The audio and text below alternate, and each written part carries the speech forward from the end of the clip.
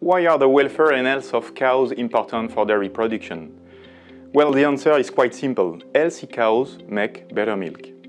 We do believe that producing milk will remain key in the future to feed the world. Moreover, a better and more sustainable production of milk by healthy and happy cows will be even more important than today. Therefore, it is crucial to take care of animal welfare and animal health when we develop products and protocols. With this in mind, we have developed the Virbac program called Target 150 with worldwide non-experts.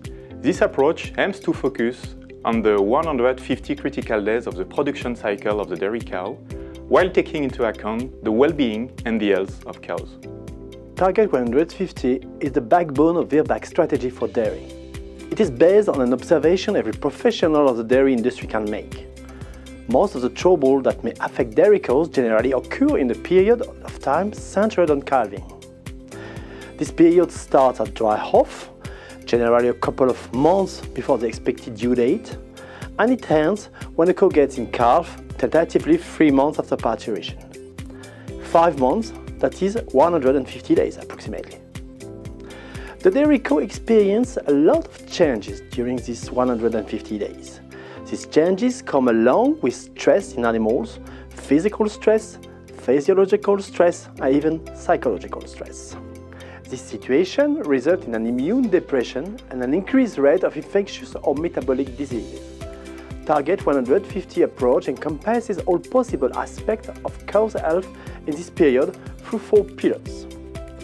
Cow's welfare, because happy cows make better milk cause reproduction since pregnancy and calving are absolutely needed for milk production.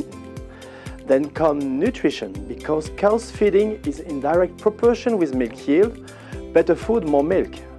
And at the end of the day, milk quality and udder health are key. Better milk, better income. With Target 150, we are pursuing three main objectives. First, we develop for farmers, veterinarians, technicians, global and integrated solution that combine diagnostic tools, preventative measures, individual treatment when needed, and services to better manage the main problematics of those 150 critical days.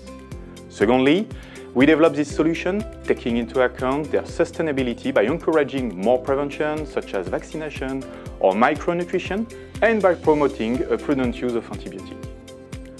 The last objective of Target 150 is to foster the sharing of experience and of new insights with all people involved in the dairy farming in order to strengthen their skills eventually. We are achieving this by organizing the Virbac Dairy Symposium. The Virbac Dairy Symposium is a scientific event organized every three years, gathering experts from all over the world and vets committed in dairy farming. In order to reach everyone, the Virbac Dairy Symposium takes place in different dairy regions.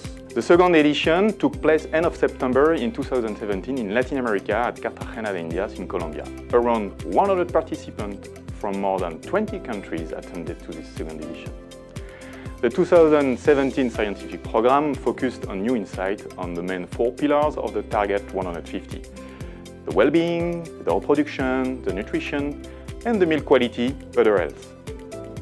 In addition, a session on precision dairy farming was organized in order to prepare vets and farmers to the new emerging technologies of today and tomorrow.